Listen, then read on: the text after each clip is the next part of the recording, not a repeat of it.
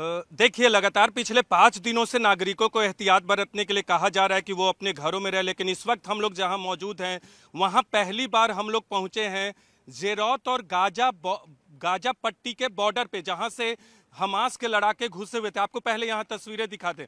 करम सिंह, ये जो एरिया, यहाँ से हज़ारों की संख्या में हमास के लड़ाके घुसे गाजा पट्टी और इसराइल के बॉर्डर में 20 पॉइंट से वो घुसे थे, एक पॉइंट ये था, यहाँ से घुसे थे, लेकिन यहाँ का मंजर आप देखेंगे तो आपको दिल दहदा, दिल दहला देने वाला है, बहुत ही खौफनाक मंजर है। ये देख सकते किस तरह का तांडव मचाया गया था इस हाईवे पे, जेरौत गाजा बॉर्डर पे, ये तस्वीरें देख सकते हैं। तमाम पेड़े जो हैं, जो जंगल का थोड़ा बहुत एरिया होता है, वो जल गया था, यहाँ बमबारी की गई थी।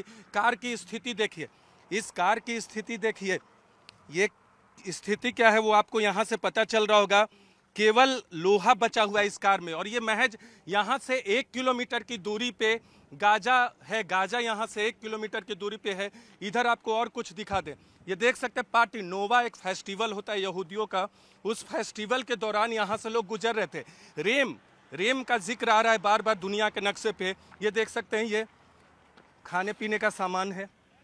यहाँ आपको पिज़्ज़ा पिज़्ज़ा यहाँ आपको दिखेगा। ये देख सकते हैं ये इन तस्वीरों से आप समझ सकते हैं कि त, क्या तांडव मचाया था। आपको दिखाते एक बहुत खास तस्वीर आपको दिखा रहे हैं यहाँ। बुलेट के लगता है यहाँ सैकड़ों बुलेट एक ये देखें और आपको दिखा रहे हैं बड़ी संख्या में यहाँ सड़क पे बुलेट है।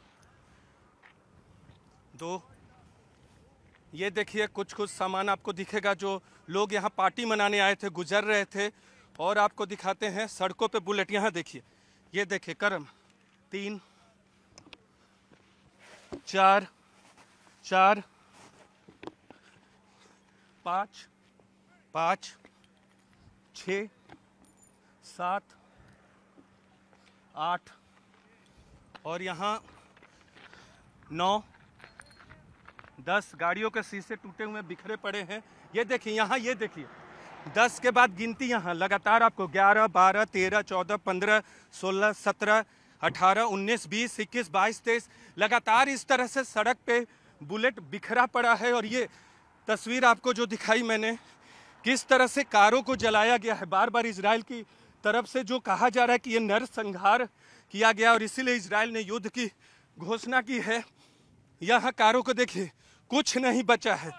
डेड बॉडी भी यहाँ कुछ लोगों के पड़े हुए थे दो दिन पहले तक। ये देखिए, कारों को ये जला दिया गया है। किस तरह का मंजर रहा होगा सात अक्टूबर की सुबह साढ़े छः बजे। ये देख ये देख सकते हैं, ये तस्वीर है।